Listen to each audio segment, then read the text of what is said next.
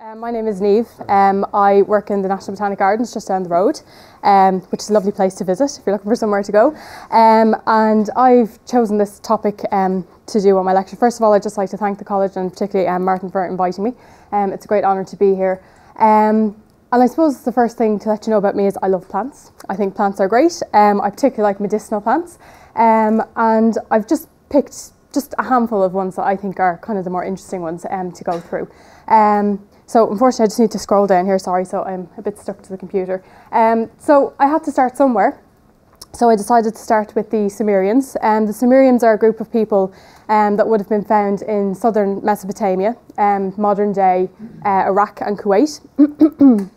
They're one of the first people um, to actually write down what they used to do, which is great. Um, so they had these great big clay tablets that they used to inscribe into, um, and particularly of interest for, for me, um, they wrote down different uh, herbal preparations. Um, now they were big into magic as well, and um, it's worth bearing in mind that some of these these um, uh, these types of people, um, spirituality was really very important. So spirituality and medicine really went hand in hand.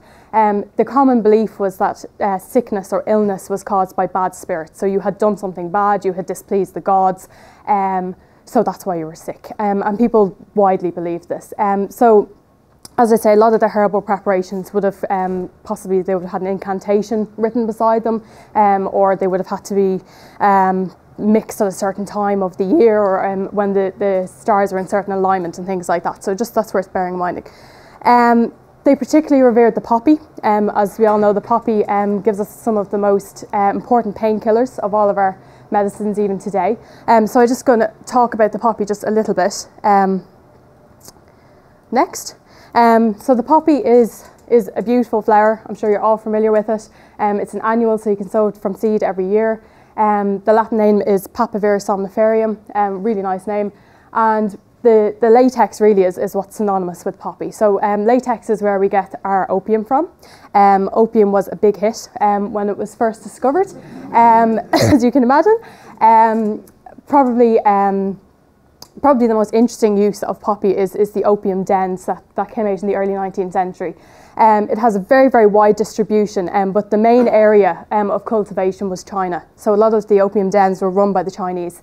Um, and just as I mentioned in, um, in today, these are the four main producers of legal um, morphine, which we also get from uh, the poppy. Um, so I was googling pictures of opium dens, and this was actually um, I couldn't get one, so I just went into town on Saturday. I got this picture instead. Um, but this would be one of the nicer opium dens, as you can imagine. They um, they uh, dealt with every members, uh, every every type of society. Some of them are very squalid um, places, um, but a lot of them were very luxurious. They wanted people with money to spend their money there. so this this is kind of a nicer image of some of the opium dens. Um, yes. um, and if you have questions at any point as well, please please feel free to ask me. Uh, ask me.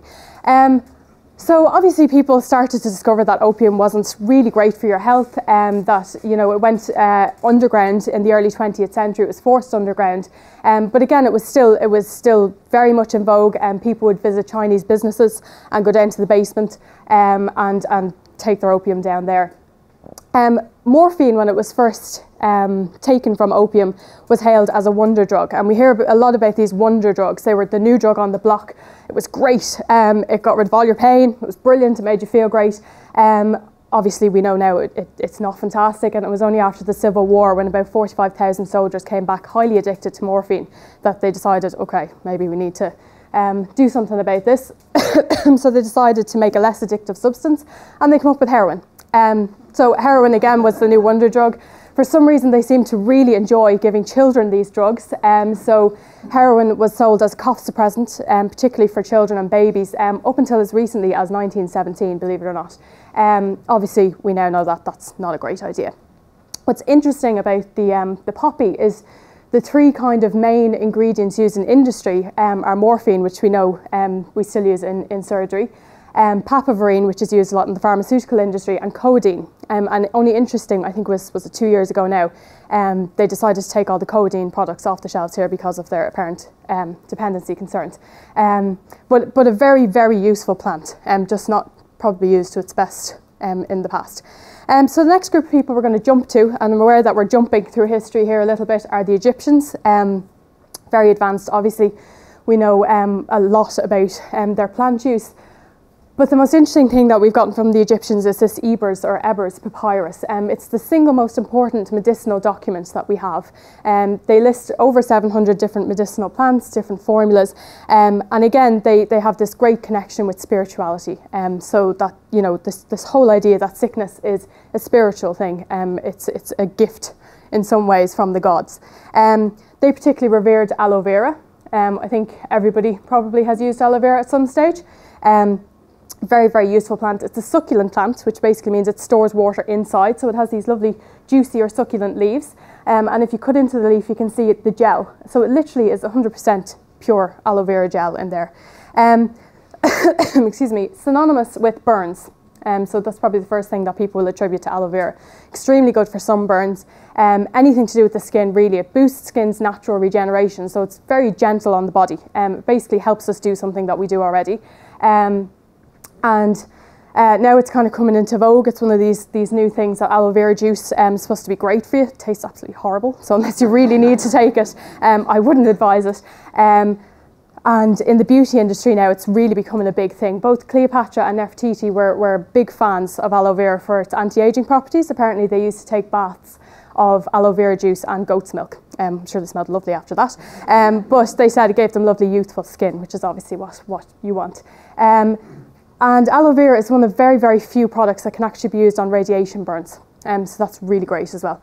Um, and it's perfect as it is. We don't need to do anything to it. Um, so we'll jump now, again, a couple of hundred years to the Greeks. Um, the Greeks were interesting because people like Hippocrates was one of the first people to actually think of sickness as a corporal uh, problem. So this idea of that, well, actually, maybe it's something physical, maybe it's something we're eating or something we're doing um, that's causing this sickness. Um, at the time, this was a very radical um, thought process. People were still very much ingrained in, in the gods and they prayed to certain specific gods um, to help them heal their sickness. So he was a little bit of a, of a rebel at the time. Um, but this is the first kind of scientific basis um, that we see in terms of medicine. Um, the Greeks were big fans of things like willow. willow is a native Irish plant, Salix alba, white willow. Um, the active ingredient in willow is salicylic acid, um, which unfortunately is, is not very good for your tummy. So although people would take this medicine, they'd usually feel a lot worse before they'd feel better. Um, and it's because the, the salicylic acid really doesn't agree with us very well. Um, however, when it was acetylated, um, they came up with probably one of the, the most widely used medicines in the world today, aspirin. Um, so aspirin was, was invented in Germany. Again, when it first came out, it was this miracle drug. It could do everything, it could cure everything. But actually, it was just really good for headaches. Um, and the Greeks particularly liked it for headaches. And um, they, they said specifically for hangovers, it was great. Um, so I'm sure we all can relate to that. Um, so we're going to jump again a little bit to the Middle Ages. Um, the Middle Ages was an interesting time because it's almost like we've taken a little bit of a step back. The Catholic Church now has, has become very powerful and um, it's gained a lot of followers and really it didn't want to go against the Catholic Church during the Middle Ages. So anybody who said, oh, you know, sickness is a physical thing, oh no, the church didn't agree with that. Um, the church said that sickness was caused from your sinning, your sinning um, obviously, you're a bad person if you were sick, um, and unfortunately, that's where we get a lot of these self harming um, people. which certainly did not help you get any better. Um, but the one interesting thing that did come from the Middle Ages is this doctrine of signatures idea, and Paracelsus um, was one of the people who pioneered this idea, and, and it was great because it kind of went with the church. Um, so his theory was that um, God has sent us um, signs in the plants as to what we should use them for. Um, so probably the most obvious example is the walnut, um, which looks a little bit like the brain. Um, so obviously we should use it for our brains. Um, and this theory at the time was widely accepted. It, it, was, it was very nice because it fit into the religious views of the people at the time. Um, unfortunately, more often than not, it was completely wrong. Um, most of the plants were horrible carcinogenics and had terrible toxins in them and killed a lot more people than they helped. but every now and then he hit the nail on the head, but just from pure luck. Um, and then the other idea we start to see forming is the idea of the four humours, um, which you probably have heard of. So um, this idea that once your four humours were in balance, um, you would be okay. And if one of them went out of balance, that's why you got sick. Um, and this is where we also see this very popular um, surgical remedy of bleeding people. Um, so that if your blood was out of balance, the, the natural way to, to fix that was to get rid of some of it so they would bleed you, um, which is very helpful when you're sick. Um, there's two plants I'm just gonna just gonna mention briefly. Um, wolfsbane, it's it's not it's not um, Irish, um, but it's a really beautiful plant. It's used a lot here, um, just in in borders because it looks very nice. Um, but it has its roots are, are, are very magical. Um, so it's one of these plants that has has been used by many different um, cultures at different times. Um, very very toxic is worth noting that. Um, usually when a plant is toxic, it has some beneficial medicinal properties in there. Um, coming back to Ireland, um, the only example I could find of it used in Ireland was that certain cultivars, the, the tubers actually look very similar to potatoes. And apparently we use that to our advantage here. Um, if a landlord was being particularly um, pernickety, um, peasants would often include um, an aconite bulb in the bag of spuds that would go up to the landlord in the hopes that it might land on his plate. Um, and it would kill you very horribly and painfully, which would have been great at the time. Some of the other people that used it, um, the, the Chinese have been using obviously plants in their herbal remedies for centuries. Um, it's a very, very strong anaesthetic. It slows the blood, um, the pulse rate, sorry, um, very severely. Um, so they only use it in very small amounts now, um, but they do still use it. The Nepalese and the Japanese tribes would have used it for its poisonous properties, um, so they would have tipped their arrows with the juice of aconitum. Um, in a lot of cultures, it has this great link to werewolves for some reason. I don't really know why. Um, people believed if you were a werewolf and you ate some of this plant, it would cure you. And similarly, if you weren't a werewolf and you ate some, it would turn you into one. So it depended on what, what way you were feeling at the time. Um, during the medieval period, they said that if they tipped all their tools with um, the juice of the plant, it would protect you against werewolves. So lots and lots of connections to that. Um, and if you're up on your Harry Potter, it's, it's been included in Harry Potter for that reason as well. Um, and then another group of people that were into their poisons were the Nazis. Um, they had heard tell of, of these great properties, these great poisonous properties of the aconitum, and it said, although I haven't found any actual documentation to back it up, that they um, coated quite a lot of their bullets in um, aconite juice as well, because it's not bad enough to be shot by a bullet, you have to die horribly from the poison as well. Um, the other one just worth mentioning here is Datura. Datura is a really interesting plant. Um, this comes from um, kind of South America, Africa. Um, it's highly hallucinogenic, which is probably why we as people have used it for so many years. Um, every part is extremely toxic. Very easy to buy. You can buy it as a patio plant. Um, I don't know. I don't know why it's so easy to buy, but it is very easy to buy. Um, in English, it's known as angel vine or angel trumpet because these beautiful white flowers. It does come in other colours as well. Um, but as I said, it's been used by different cultures um, for, for centuries. Um, one of the first groups of people to capitalise on it really were the European witches. Um, they were very much into their hallucinogenics, as you can imagine. Um, it would induce these visions. It it's very, very strong, so you would fly in and out of consciousness um, while using it. And um, they said that they would get these visions of the devil. They'd visit the devil, he would tell them what to do. Um, and as they flew in, a, in, and out of consciousness, we think this is where the whole concept of witches flying comes from, is from this particular plant, um, which is quite interesting. You have very interesting images if you Google witches and Datura. Um, another group of people that have been using it for centuries are Native American Indians. Um, they really like their hallucinogenics. Um, they used to use Datura and peyote, which is another succulent plant um, in a lot of their coming of age rituals. Um, so here we see, okay, it's not necessarily medicinal, but it's extremely important um, in, to the culture. Um, when you would come of age, you'd be given this mixture of peyote and datura, and hopefully the hope is that you would make contact with your spiritual leader or your spiritual guide. And this was very, very important because this was a lifelong connection that you needed to keep up. Um, so the idea is once you had made the initial contact, then every contact after that could be induced by the datura. Um, some other people that used it were some followers of Kali, who is a Hindu god, a little bit more of a sinister use. Apparently, they used to poison unsuspecting travellers using datura and rob them and then leave them on the side of the road to die, which is lovely. Um, and then the, probably the most sinister use of it is by the Haitians in their voodoo um, ceremonies. So they call it the zombie cucumber because it induces a zombie-like state.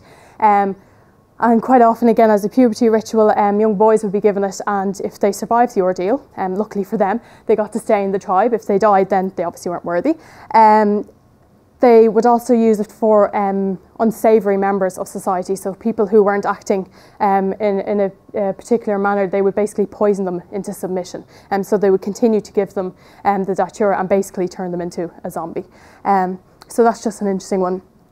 Um, then we'll skip up to the Renaissance. Um, really, the Renaissance is worth mentioning because this is where we first see dissections of bodies. Um, and this is quite important because up until then, um, people were uh, doing things like vivisections on animals. Um, so things weren't exactly where they actually thought they were um, because, you know, animals aren't exactly laid out the same as us. Um, and we have things like basic medicinal practices, like instead of cauterization. Um, so you can imagine if you have had a leg blown off in a war, you don't really want someone to pour boiling water on it um, to, to cauterize, or boiling oil, I should say, to cauterize the wound. It's probably not the best thing for you. So we have people like um, a lot of French surgeons would have pioneered sewing, so sewing up the wound and letting it heal naturally, as opposed to just cauterizing it um, with boiling oil, um, which obviously wasn't great. Um, I don't I've lost my, my slide to go with that. Um, and then we come into the 17th and 18th century. So again, just building on, on these ideas that have started to come to the forefront. Um, we first see inoculation, which actually um, first took part in Turkey um, in a very basic form, where um, uh, smallpox would have been the, the disease of choice at the time. Um, people would basically, if someone was infected with smallpox, they would cut you and, and rub the person's skin against you to inoculate you. And this obviously wasn't terribly successful. It wasn't the most uh, cleanly way or hygienic way of, of inoculation, but Edward Jenner um, did come up with a slightly more um, humane way of doing it. Um, and William Withering is another one, um, another man worth mentioning. He was an English doctor um, and he really used observation. So he was one of the first doctors where we see he actually for a second just stopped and observed things. Um, what are the symptoms? What, why, did, why did this happen? Um, why, why, what, was the cause of this? Um, and foxglove was one that he was looking at at the moment. Foxglove was always um, a folk remedy, highly toxic again, lovely native Irish plant, um, but it was a folk remedy for almost everything. Um, in Ireland, apparently, they would uh, put a bit of foxglove in everything they ate, and they said it would give you a longer life, or slowly poison you, one or the other.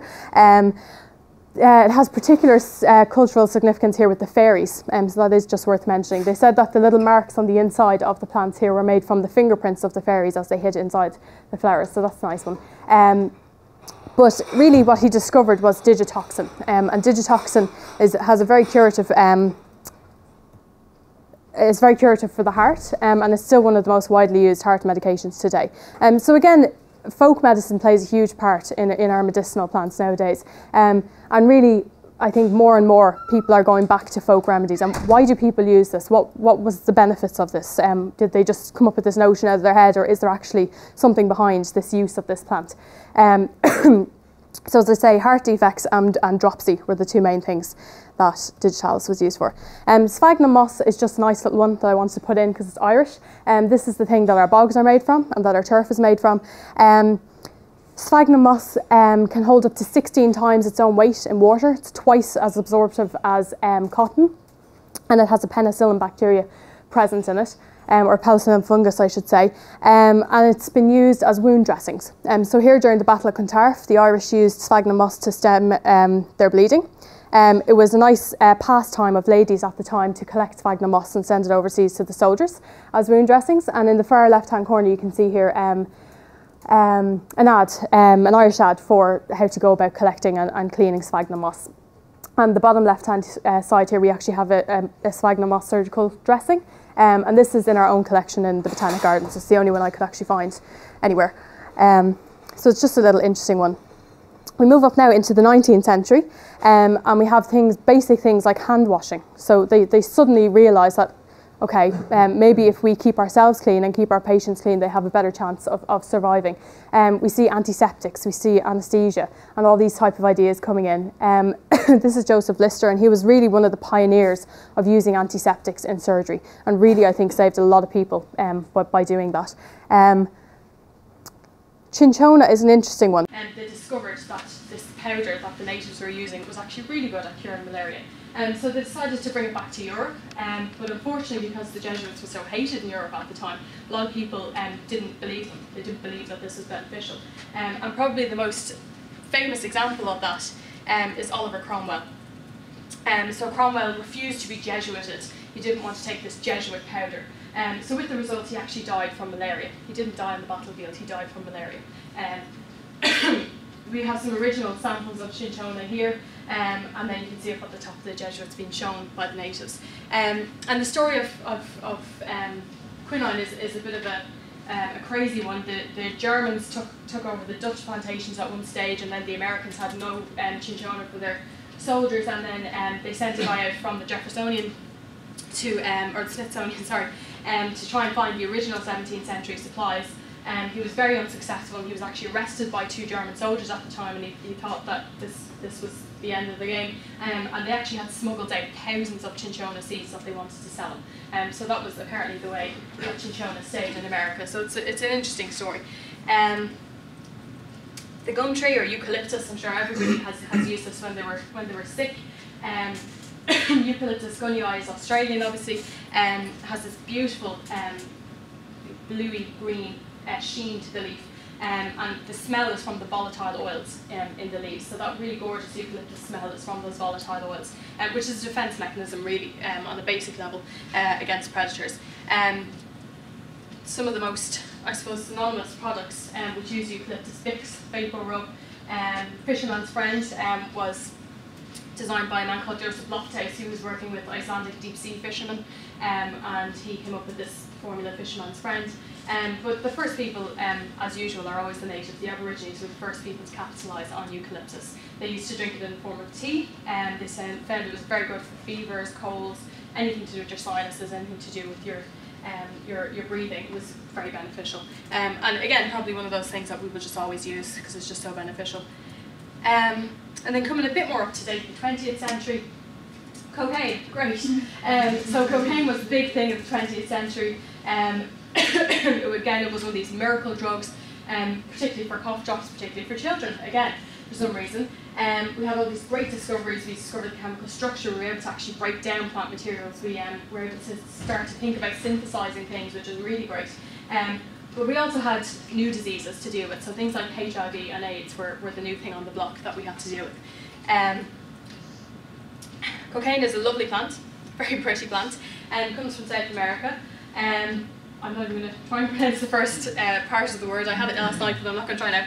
Um, but the second part is, is worth noting. Um, so, I don't know what the first part is. Co coca, anyways, the second part. So it's known as the coca plant. Coca leaves um, would have been chewed um, and it is the strongest stimulant known to man after caffeine, um, which is an interesting one. Um, so we just moved down a little bit. Probably the most important thing that was made at the time from the cocaine plant was Coca-Cola. Um, so Coca-Cola, Coca-Cola was brought out as a health tonic. Um, it included um, coca um, from the coca leaves, um, or cocaine, and cola, which was the caffeine additive um, from the cola nut, which is a South African plant as well. Um, it was it was actually um, advertised as the intellectual beverage of the time. Um, so if you wanted really to be kind of very popular, you'd have Coca-Cola on your table, and um, was the intellectual beverage.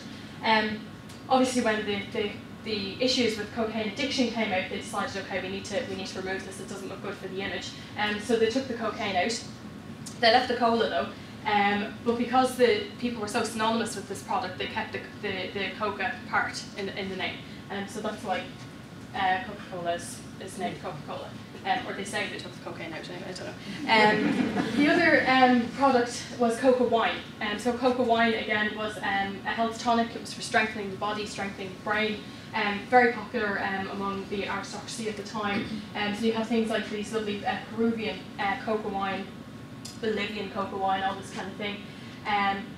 And I suppose just culturally to mention the, the people of Bolivia and Peru, I think just recently have been um, have been allowed to, to, to grow their own coca plants because traditionally they would chew them. Um, so particularly for alt for high altitude. So if they were farming in very high altitudes, um, it helps to alleviate altitude sickness. And apparently it is a cultural thing um, unfortunately I haven't gotten to Peru just yet, um, that they will give you um, coca tea um, as, as a welcome um, to help deal with altitude sickness. Um, okay, and then our last one is the 21st century. Um, so we're going right up to date here. Um, not too many mentions of plants, unfortunately, in this slide. Um, but we do have all these amazing new technologies now, so things we could never dream about before. We have robotic surgery, and um, thankfully we have the smoking ban. Um, we have mapped the human genome, we've done things we never thought we'd be able to do. But where are the plants? Um, so let's try and get back to the plants just for one second. Um, so the memory tree. Um, this is ginkgo biloba, and usually in the name there's there's a giveaway in the name. So bi means two, and loba meaning lobe. So you can see it has this really gorgeous leaf down here in the bottom left hand side, an unusual leaf. Um, this is a really really interesting tree. This has been used for centuries by people. Um, in China, it's known as the memory tree. Um, genetically, it's remained unchanged for the last 120 million years. So it has not changed, it has not adapted, and it hasn't done anything. It's remained exactly the same. It dates back to the Jurassic and um, the Cretaceous periods, um, so probably would have been dinosaur food at one stage. Um, but that's really interesting. Something that hasn't changed has to be doing something right. Um, so people have started to study it, and in its most recent studies, um, they're looking at it now as a cure for Alzheimer's. Um, so Ginkgo tea was always very popular, ginkgo tablets, and um, they say particularly students, some students in the audience, um, coming up to exams, ginkgo tea can help with your memory and your blood flow, um, and as I say most recently for, for Alzheimer's research.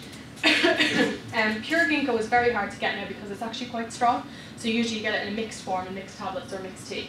Um, and it's used for all sorts of different things, so um, things like Raynaud's, um, asthma, um, almost anything you can think of. It's just very good for blood flow. And um, so it's kind of a, a, an interesting, modern, up-to-date one. Um, that's pretty much it. Um, I'd just like to finish with plants are great. Um, there's a huge amount of them that we haven't even looked at yet. Only about 1% of the rainforest has actually been charted um, for medicinal plants. So who knows what's out there, it's amazing. Um, but yeah, plants are great. So thank you very much for listening.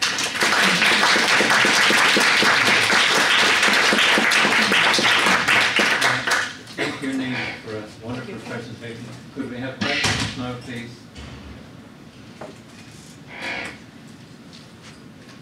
Thanks very much, Niamh. That's a fascinating overview. Yeah. Um, so, what sort of range of plants of interest are the botanics here? Would you have um, Well, the majority of the ones that I would have mentioned would be found in the botanics. Um, if you do do a tour, um, uh, they're free on Sunday.